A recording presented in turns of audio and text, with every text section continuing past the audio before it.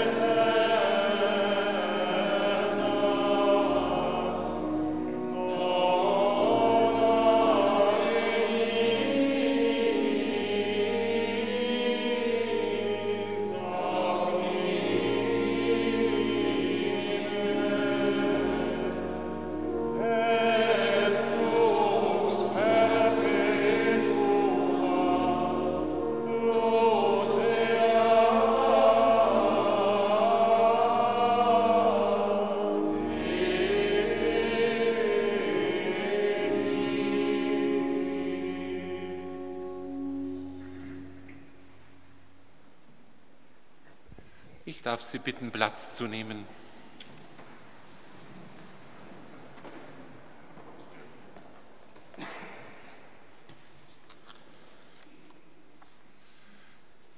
Liebe Schwestern und Brüder, liebe Mitbrüder, liebe Mitfeiernde zu Hause am Livestream, die heute leider nicht zum Requiem von unserem Pater Remigius kommen konnten, liebe Maria, liebe Verwandte, liebe Freunde und Bekannte, wir nehmen heute Abschied von unserem Pater Remigius Johann Ruthmann.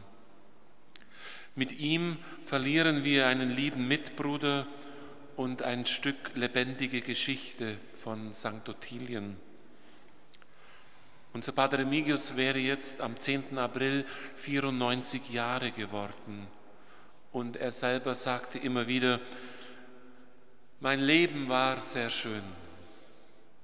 Ich danke Gott, so sagte er vor kurzem, dass ich 92 Jahre gut leben durfte. Seine Krebskrankheit machte ihm die letzten Jahre immer wieder zu schaffen und auch vor kurzem hat er noch eine Bestrahlung hinter sich gebracht, in der Hoffnung, vielleicht doch noch eine Wanderung machen zu können. Am 10. April 1927 kam er als Sohn von Stefan und Anna Ruthmann zur Welt. Die Sterbebilder seiner Eltern lagen auf seinem Nachtkasten. Er hatte noch einen älteren Bruder, unseren Pater Pirmin, der im Jahr 1985 verstorben ist. Und ich freue mich, dass seine Schwester Maria heute mit hier sein kann, die Jüngere. Zu ihr und ihren Kindern verband unseren Pater Remigius immer eine herzliche Beziehung.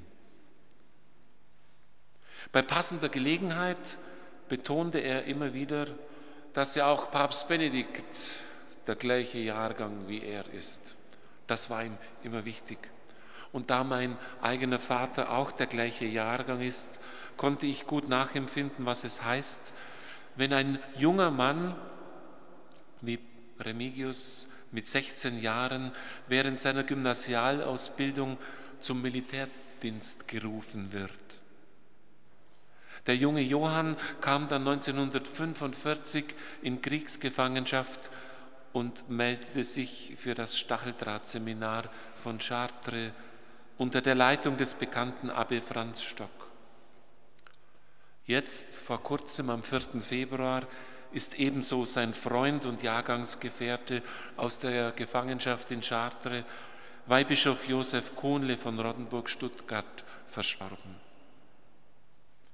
Die Begegnung mit unserem Pater Albert Rieger hat ihn dann schließlich nach St. Ottilien geführt.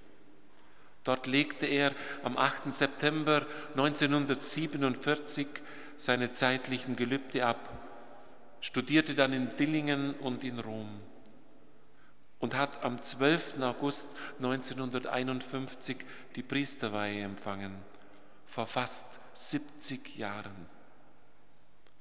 Er beendete das römische Studium in Kirchengeschichte mit einer Promotion und einem Abschluss am monastischen Institut.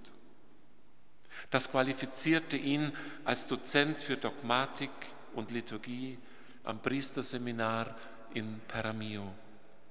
Er lernte dort Swahili und gab später auch hier in St. Ottilien Swahili-Unterricht. Im Jahr 1962 übernahm er dann die Leitung unseres Studienhauses in München, das Ottilien-Kolleg. Als ich ihm am 27. Januar dieses Jahres die Krankensalbung spendete, war er noch völlig klar und erzählte mir nochmal, dass diese Zeit in München für ihn eine schwierige, wenn auch interessante Zeit war. Und es waren doch immerhin 17 Jahre. Für Israel brannte sein Herz, vor allem für Tabka am See Genezareth, am Ort des Brotwunders. Ja, aber wo viel Licht ist, da ist auch Schatten. Und so zog Remigius damals die Konsequenzen und kam nach St. Ottilien zurück. Wenn er auch nicht mehr in Israel lebte, so lebte das heilige Land Jesu doch in seinem Herzen. In vielen Pilgerreisen konnte er seine Begeisterung weitergeben und es war zu spüren, dass sein Herz brannte. Pater Remigius war ein Freund des Lebens. So werden Menschen schon im Buch der Weisheit umschrieben, die wir heute in der Lesung hören. Es war nicht sein Part, übergeordnete Leitungsaufgaben wahrzunehmen. Er spürte, er ist ein Seelsorger, der mit den Menschen geht und so Verkündigung lebt. Unser Pater Remigius konnte sich oft in der Predigt so verausgaben, dass er oftmals den Blick auf die Uhr vergaß. Als Evangelium habe ich heute das, den Text der Emmaus-Jünger gewählt unter dem Motto, wenn nichts mehr geht, dann geh. Oder anders gesagt, mit der Welt ginge es besser, wenn man mehr ginge. Es war nicht leicht, den großen Schritten von Pater Remigius mitzuhalten. Während die Emmaus-Jünger ihre Gedanken austauschten, kam Jesus hinzu und ging mit ihnen. Die Emmaus-Jünger sind so in ihren Sorgen, in ihrem Alltag, in all das, was sie selber beschäftigt, verstrickt, dass sie keine Augen mehr für Jesus haben. Ja, auch vielleicht keine Augen für die anderen. Und Jesus geht ihnen hinterher und kommt mit ihnen ins Gespräch und speist sie nicht mit frommen Sprüchen ab. Er fragt sie ganz einfach nach ihren Sorgen und Nöten. Zunächst als Leiter des Liebeswerkes und dann als Gastpater von St. Ottilien war unser Pater Remigius immer mit den Leuten im Gespräch, ja auch in theologischen Diskussionen. Und er hat gern dazu seinen Most oder einen badischen Wein getrunken. Er war einfach da. Einer, der nachgegangen ist, wie Jesus bei den Emmaus-Jüngern. Remigius war ein treuer und pflichtbewusster Mitbruder, immer treu im Chorgebet und bei den Mahlzeiten. Auch, und da erinnere ich mich oft daran, wenn es sehr spät geworden ist, Remigius war in der Laudes präsent. Er hat mir noch vor einigen Wochen gesagt, nur dreimal hat er in seinen fast 70 Priesterjahren die Messe versäumt. Die Gegenwart des Auferstandenen in der Eucharistie hat sein Leben immer gestärkt. Brannte nicht unser Herz. Im sichtbaren Brot begegnet uns der unsichtbare Auferstandene.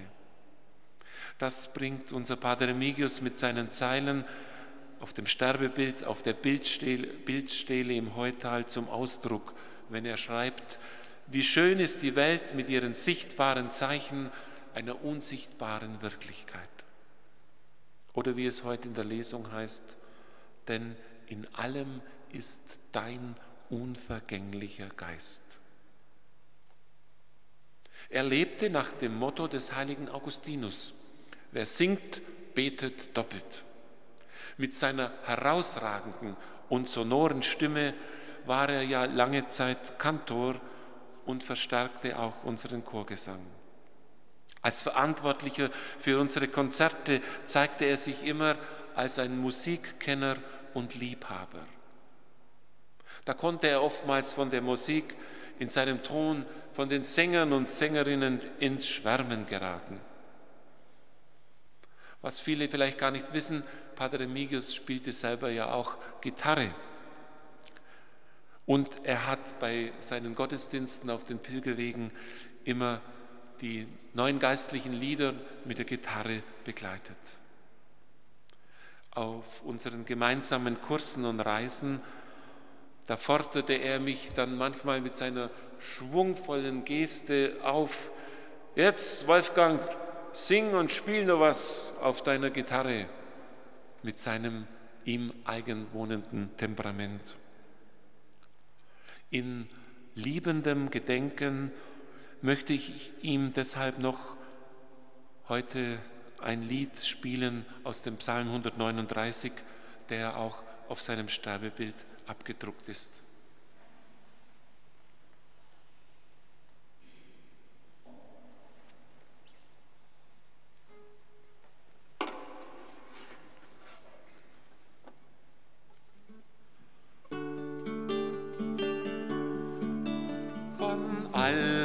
Zeiten umgibst du mich und hältst deine Hand über mir und hältst deine Hand über mir.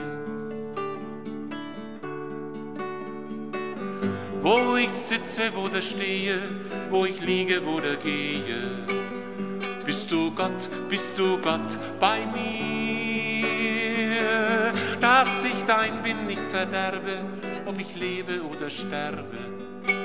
Bleibst du Gott, bleibst du Gott bei mir, von allen Seiten umgibst du mich und hältst deine Hand über mir und hältst deine Hand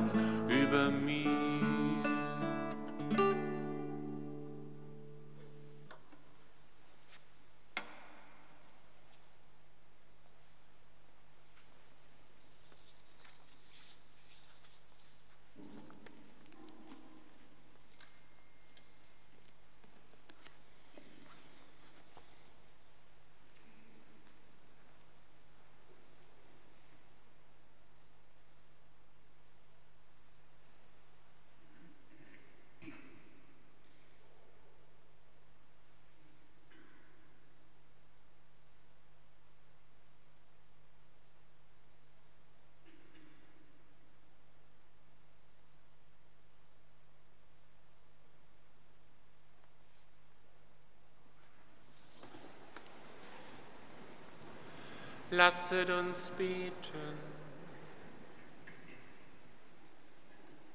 Allmächtiger Gott und Vater, wir glauben und bekennen, dass dein Sohn für uns gestorben und auferstanden ist. Im Glauben an dieses Geheimnis ist unser Pater Remigius von uns gegangen. Wie er in Christus gestorben ist, so lass ihn auch durch Christus auferstehen. Darum bitten wir durch ihn, der in der Einheit des Heiligen Geistes mit dir lebt und herrscht in alle Ewigkeit.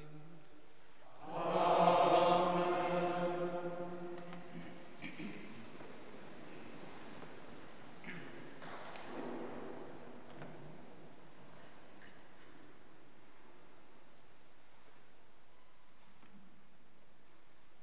Lesung aus dem Buch der Weisheit. Herr, du Freund des Lebens, du hast mit allen Erbarmen, weil du alles vermagst und siehst über die Sünden der Menschen hinweg, damit sie sich bekehren. Du liebst alles, was ist, und verabscheust nichts von allem, was du gemacht hast. Denn hättest du etwas gehasst, so hättest du es nicht geschaffen. Wie könnte etwas ohne deinen Willen Bestand haben? Oder wie könnte etwas erhalten bleiben, das nicht von dir ins Dasein gerufen wäre?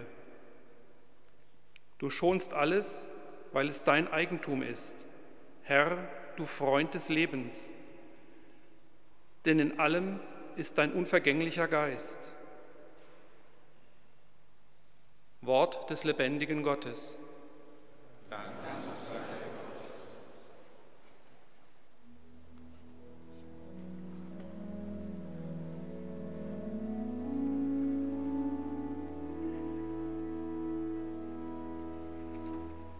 Lazar.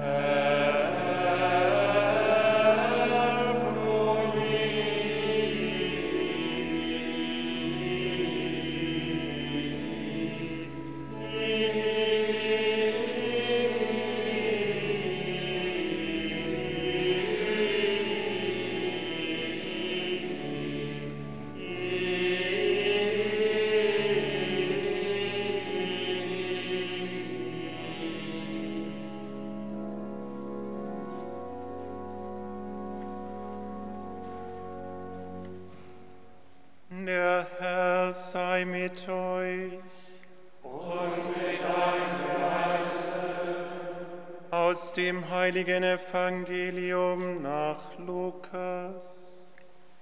Ehre sei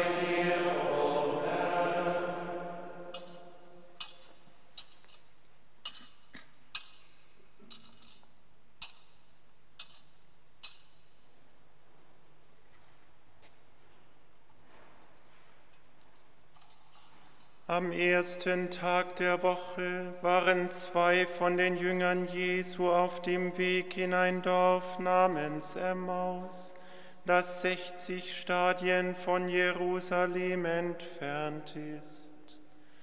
Sie sprachen miteinander über all das, was sich ereignet hatte. Während sie redeten und ihre Gedanken austauschten, kam Jesus hinzu und ging mit ihnen. Doch sie waren wie mit Blindheit geschlagen, so dass sie ihn nicht erkannten. So erreichten sie das Dorf, zu dem sie unterwegs waren. Jesus tat, als wolle er weitergehen, aber sie drängten ihn und sagten, Bleib doch bei uns, denn es wird bald Abend, der Tag hat sich schon geneigt. Da ging er mit ihnen hinein, um bei ihnen zu bleiben. Und als er mit ihnen bei Tisch war, nahm er das Brot, sprach den Lobpreis, brach das Brot und gab es ihnen.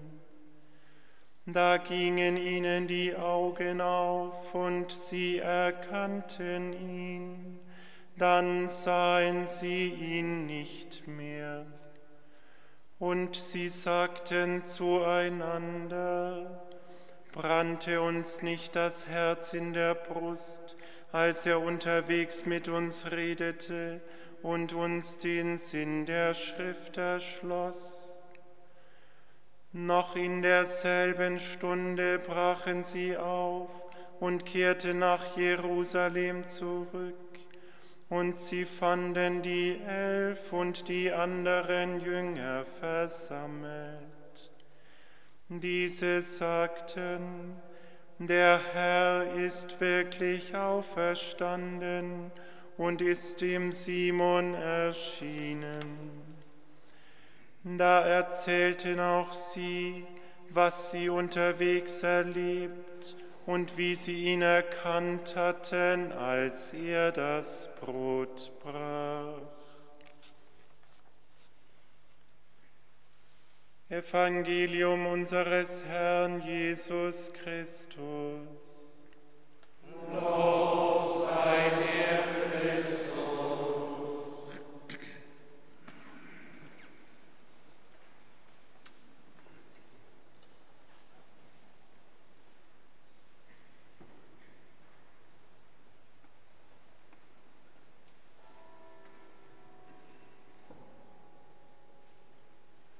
Jesus Christus, du bist die Auferstehung und das Leben.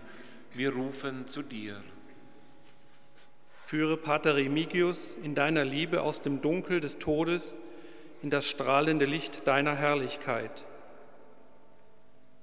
Christus, Heiland und Erlöser, wir bitten dich, erhöre uns. Lohne seine lebenslange Treue in Gebet und Arbeit im Dienst unserer Gemeinschaft. Christus, Heiland und Erlöser, wir bitten dich, erhöre uns. Lass sein Angedenken bei den vielen Menschen lebendig bleiben, denen er bei Exerzitien, Wallfahrten und Pilgerreisen ein guter geistlicher Begleiter war. Christus, Heiland und Erlöser, wir bitten dich, erhöre uns. Erfülle alle, die um ihn trauern, mit Trost und Hoffnung im Glauben an die Auferstehung. Christus, Heiland und Erlöser, wir bitten dich, uns. festige uns in der Liebe und Treue zu dir und führe uns den Weg zum unvergänglichen Leben. Christus, Heiland und Erlöser, wir bitten dich, Lass alle unsere Verstorbenen zu Tisch sitzen beim himmlischen Hochzeitsmahl im Reich deines Vaters. Christus, Heiland und Erlöser, Herr Jesus Christus, du rufst uns aus dem Tod ins Leben. Wir danken dir, preisen dich mit dem Vater und dem lebensspendenden Heiligen Geist, jetzt und in Ewigkeit. Amen.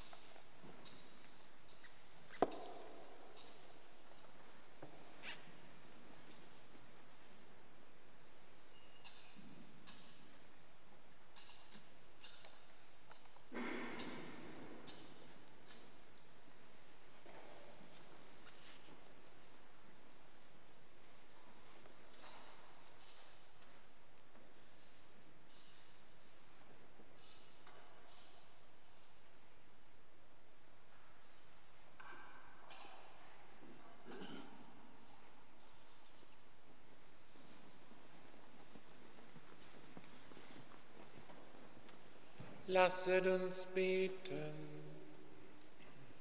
Barmherziger Gott, wir bringen unsere Gaben dar für deinen Diener Pater Remigius.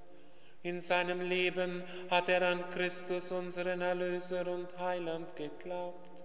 Darum sei ihm Christus auch ein gnädiger Richter, er, der mit dir lebt und herrscht in alle Ewigkeit.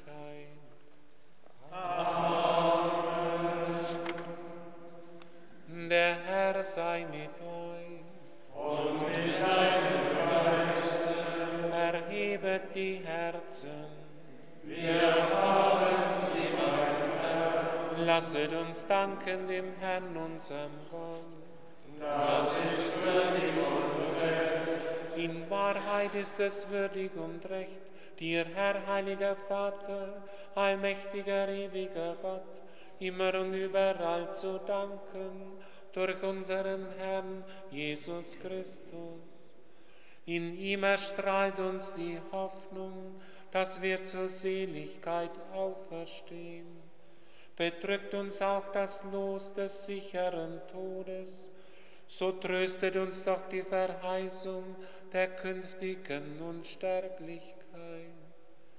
Denn deinen Gläubigen, o oh Herr, wird das Leben gewandelt, nicht genommen.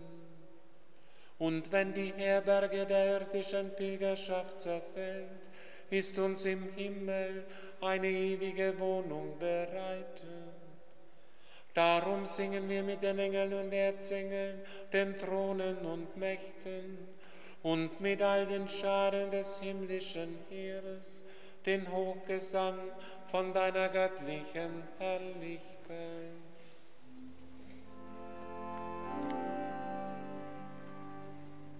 Sancto, Sancto,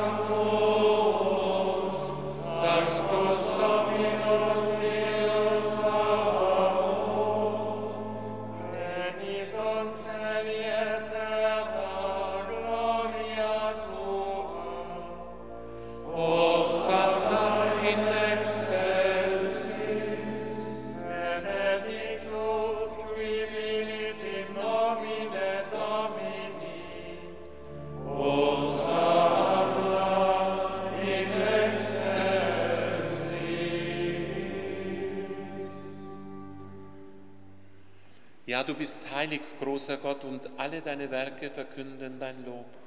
Denn durch deinen Sohn, unseren Herrn Jesus Christus, und in der Kraft des Heiligen Geistes erfüllst du die ganze Schöpfung mit Leben und Gnade.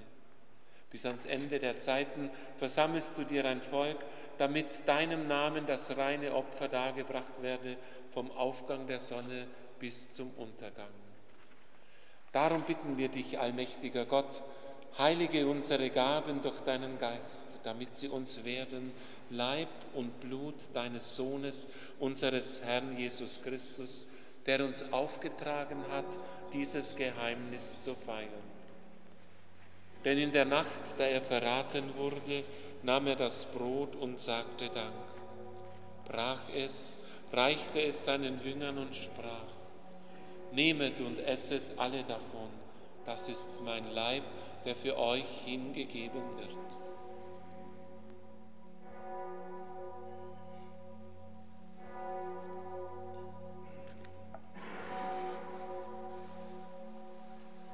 Ebenso nahm er nach dem Mahl den Kelch, dankte wiederum, reichte ihn seinen Jüngern und sprach, Nehmet und trinket alle daraus. Das ist der Kelch des neuen und ewigen Bundes mein Blut, das für euch und für alle vergossen wird zur Vergebung der Sünden. Tut dies zu meinem Gedächtnis.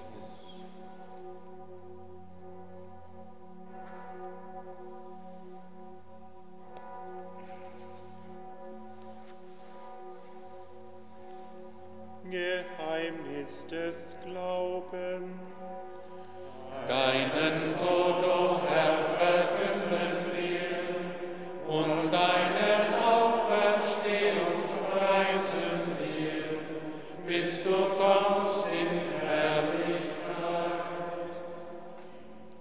gütiger Vater, feiern wir das Gedächtnis deines Sohnes.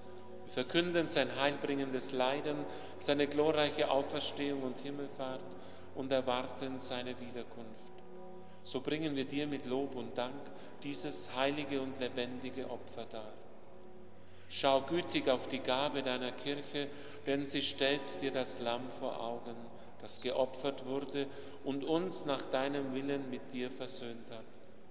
Stärke uns durch den Leib und das Blut deines Sohnes und erfülle uns mit seinem Heiligen Geist, damit wir ein Leib und ein Geist werden in Christus.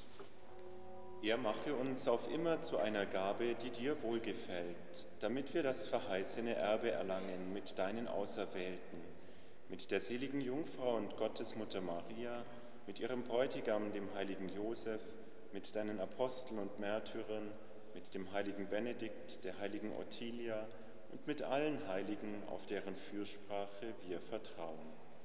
Barmherziger Gott, wir bitten dich dieses Opfer unserer Versöhnung bringe der ganzen Welt Frieden und Heil. Beschütze deine Kirche auf ihrem Weg durch die Zeit und stärke sie im Glauben und in der Liebe. Deine Diener, unseren Papst Franziskus, unseren Bischof Bertram und die Gemeinschaft der Bischöfe, unsere Priester und Diakone, alle, die zum Dienst in der Kirche bestellt sind und das ganze Volk deiner Erlösten. Erhöre, gütiger Vater, die Gebete der hier versammelten Gemeinde und führe zu dir auch alle deine Söhne und Töchter, die noch fern sind von dir. Erbarme dich Pater Remigius, den du aus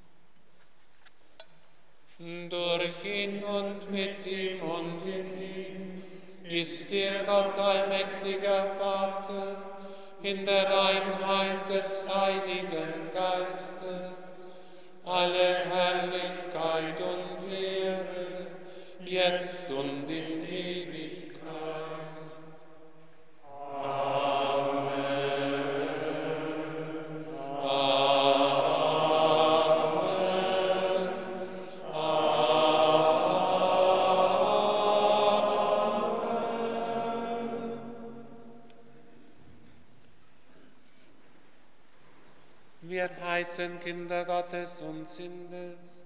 Darum beten wir voll Vertrauen.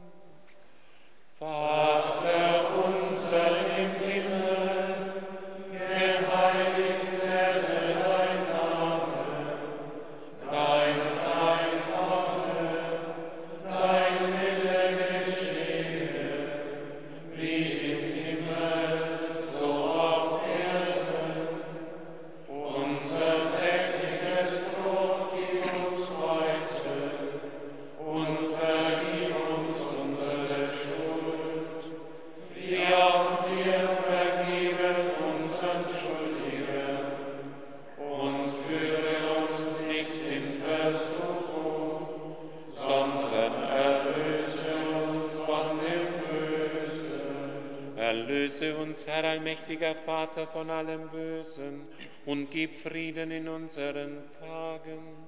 Komm uns zu Hilfe mit deinem Erbarmen und bewahre uns vor Verwirrung und Sünde, damit wir voll Zuversicht das Kommen unseres Erlösers Jesus Christus erwarten. Denn dein ist das Reich und die Kraft und die Herrlichkeit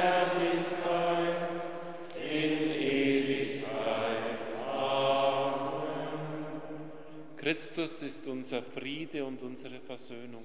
Deshalb bitten wir, Herr Jesus Christus, schau nicht auf unsere Sünden, sondern auf den Glauben deiner Kirche und schenke ihr nach deinem Willen Einheit und Frieden.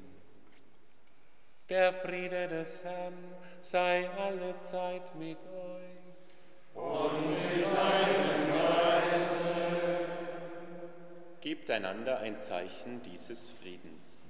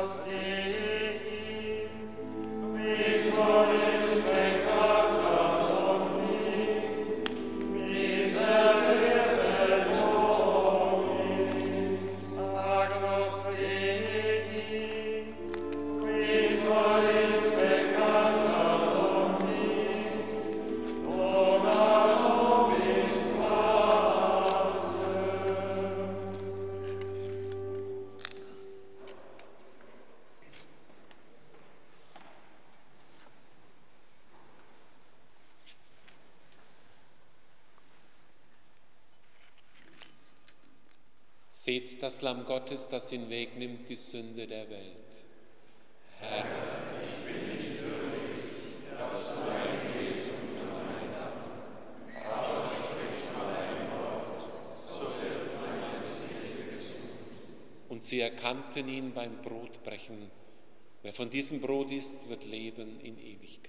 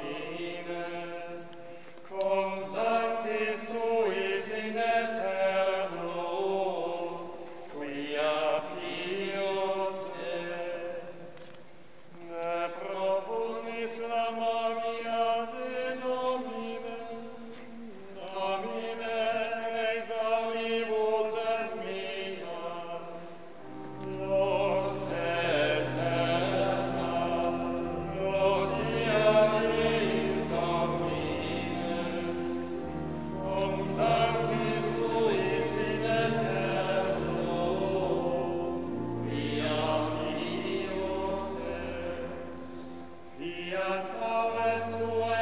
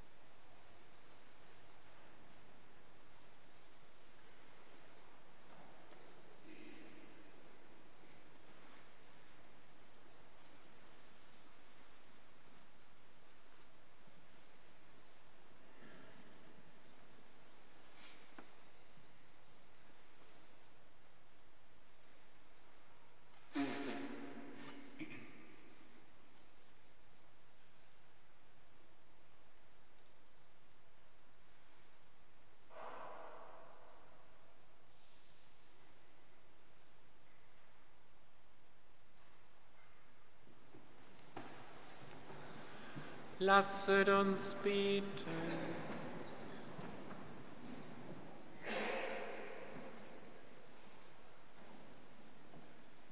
Barmherziger, gütiger Gott, in diesem Sakrament hat uns Christus seinen Leib als Wegzehrung hinterlassen. Führe unseren Verstorbenen mit Bruder Pater Remigius zum ewigen Gastmahl in deinem Reich. Darum bitten wir durch Christus unseren Herrn.